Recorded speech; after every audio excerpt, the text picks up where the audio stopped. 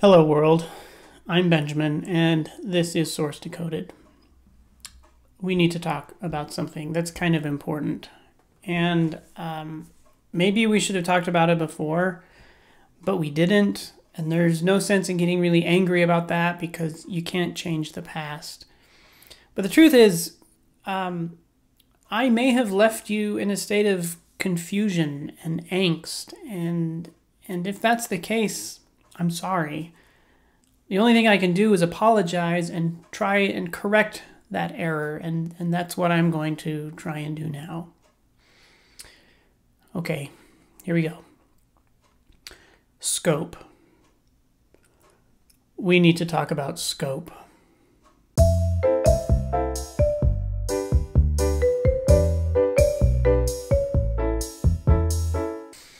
Scope is the nerd word for the place in a program where an identifier is valid. And an identifier is is a name that we give to something. We've given names to lots of things like variables and constants and functions. Those names are identifiers. And a scope is a region of the program where that identifier points to the thing that you pointed it at. Humans have identifiers too.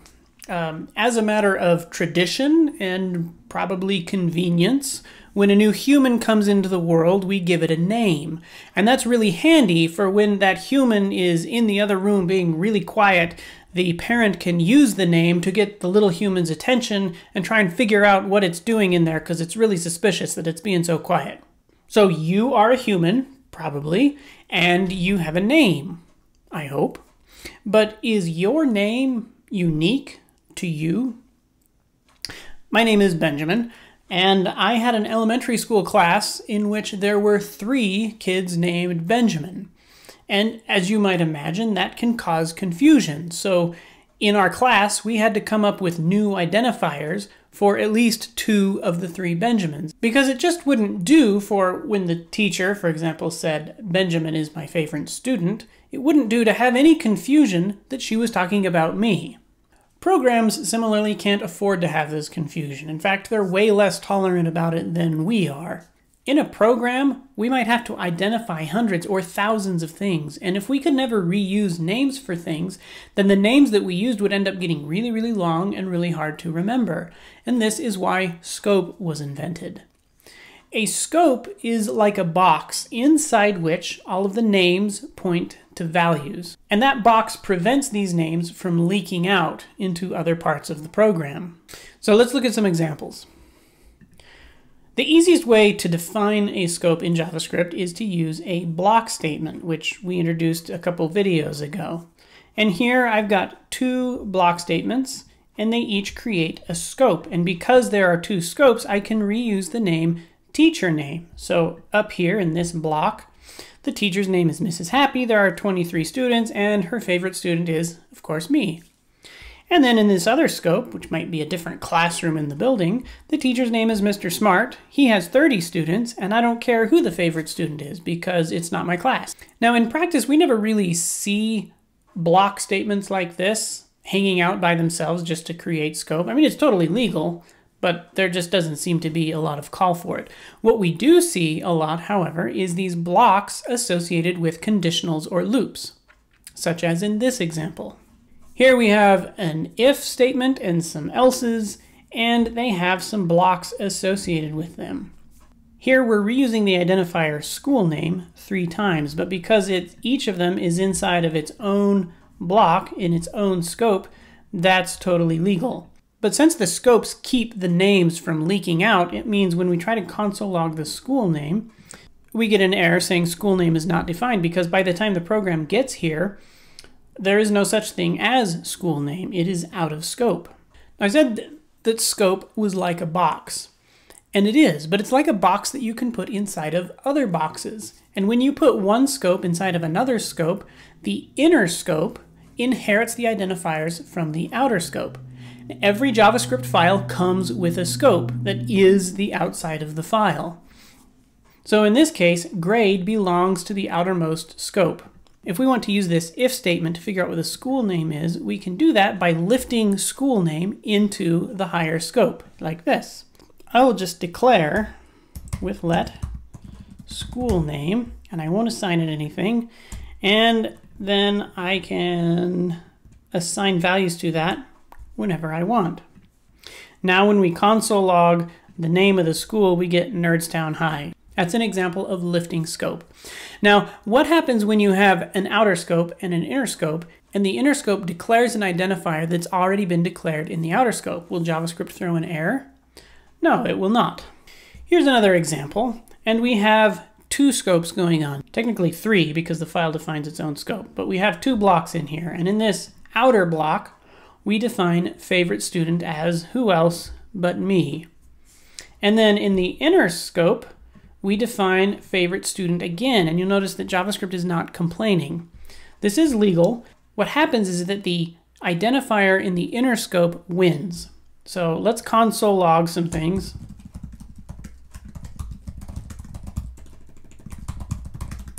and see what favorite student is at a couple of parts in the program. So here, favorite student is Benjamin, as we expect.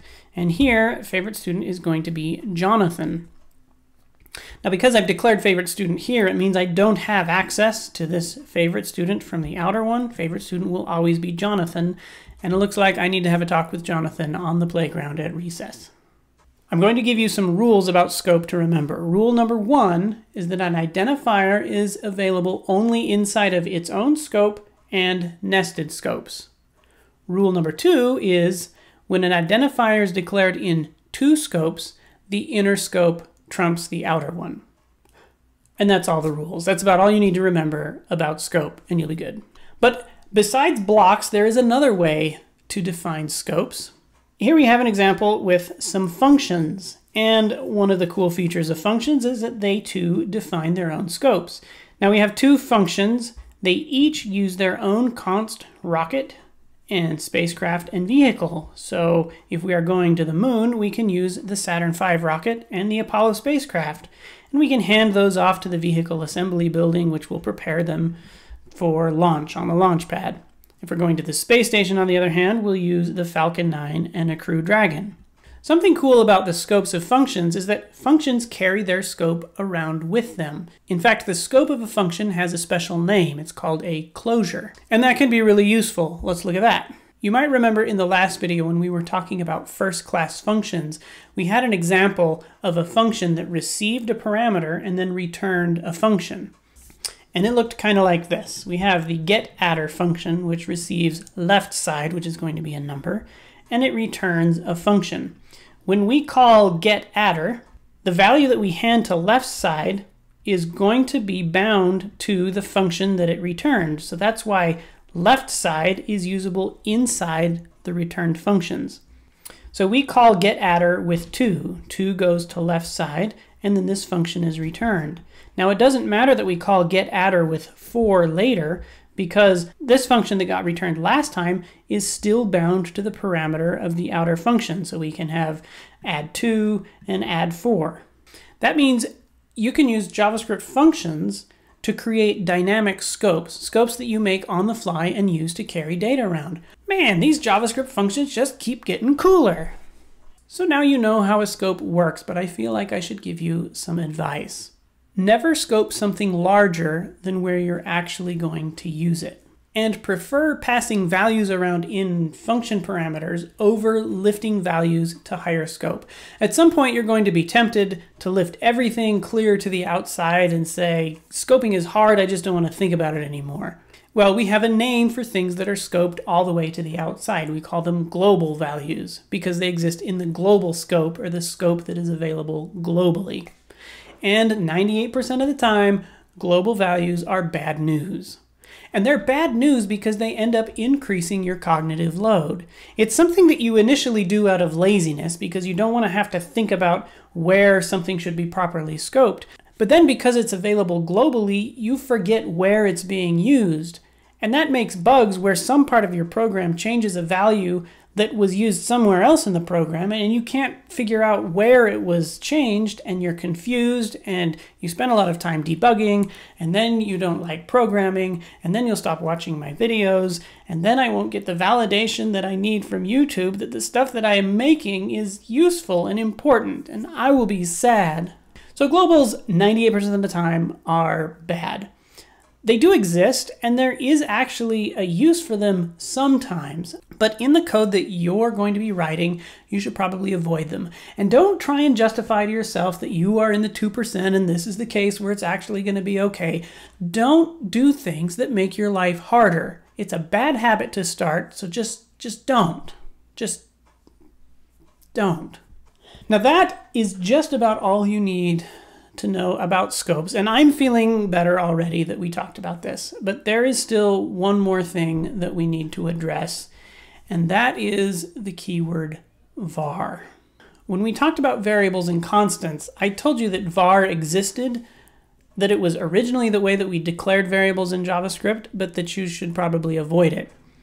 Now I'm going to tell you about why. We had an example that involves some if statements. Let's go back to that example but just a little bit modified to use var instead of let.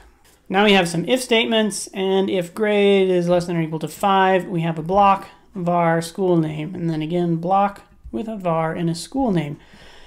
And we get to the bottom and we console log out school name, but hang on, school name should be out of scope because it's inside of these blocks. How are we allowed to console log school name? Do identifiers declared with var just ignore scoping rules altogether? No, they don't, because that would be complete anarchy. But they do follow different scoping rules. You see, there are different ways to make a scoping system. The most common is using block scope, and that's the one that we've been talking about. But when JavaScript was first created, for whatever reason, Mr. Eich decided to use a different method he used what's called lexical scoping. And with lexical scoping, the scope inside of a program isn't created by blocks, it's created by functions. So to make a new scope, you had to make a new function. This is nerdy and actually maybe kind of cool, but it confused a lot of people because it's block scoping that most people expect. So people would come in to JavaScript coming from Java or C or something else and expect it to work one way, but it really worked a different way, and they would end up redeclaring variables in a scope where that identifier was already used, and that would cause bugs and problems, and it made people confused. And it didn't help very much that when you use var and you redeclare an identifier with var, JavaScript won't yell at you or give you any clue that you've redeclared something. Const and let, on the other hand, will yell at you and they'll prevent you from redeclaring something that already exists in that scope. So JavaScript was amended to include let and const, which follow block scoping rules, and now people are less confused. Now, off the top of my head, I really can't think of any reasons where I would want lexical scoping over block scoping.